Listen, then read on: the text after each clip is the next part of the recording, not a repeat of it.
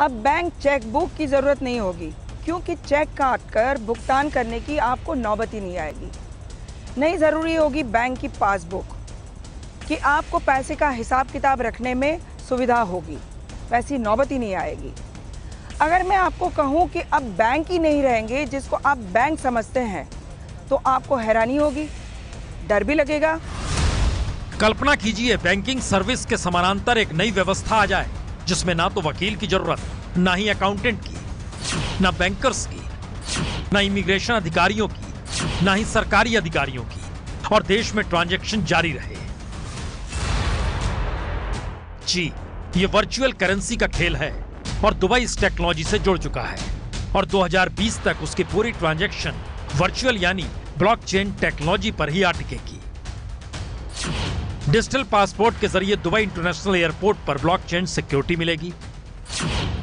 तमाम real estate या संपत्ति से जुड़े ट्रांजैक्शन ब्लॉकचेन के ज़रिए होंगे।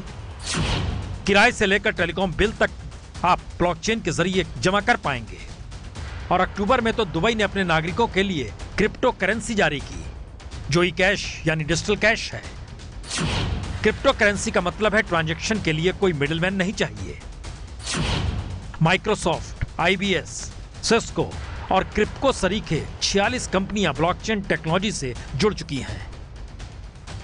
और अब असल सवाल है कि आखिर इसकी ज़रूरत दुबई को ही क्यों पड़ी? और क्या भारत भी आने वाले वक्त में इसी रास्ते पर जाने की तैयारी कर रहा है? दुबई का कहना है उसने तकरीबन एक करोड़ दस्तावेजों को ब्लॉकचेन टेक्नोलॉजी में डाल दिया है, जिससे दुबई ने ढाई करोड़ लोगों के काम के घंटे बचा लिए। और डेढ़ मिलियन डॉलर टैक्स भी बचा लिया। और दुबई के director general doctor Aisha bin Bishr के मुताबिक, उनका मिशन है दुबई दुनिया में सबसे अलग हो, एक लिहाज से हैप्पीएस्ट सिटी ऑफ़ अर्थ हो। जहाँ कोई कागज़ी काम ना हो तो फिर फ्रॉड भी ना हो। और दुबई का टारगेट 2020 का है, और भारत भी क्या 2020 तक इस दिशा में बड़े पैमाने पर बढ़ना चाहता है? ब्लॉकचेन का मतलब साफ़ है। ना ही रहेगी बैंक ना ही रहेंगे बैंकर ना ही रहेंगे मिडलमैन जो आपको ट्रांजैक्शन में मदद करते हैं। यानी एक ऐसी वर्चुअल व्यवस्था जिसमें बागडोर होगी सरकार के हाथ में।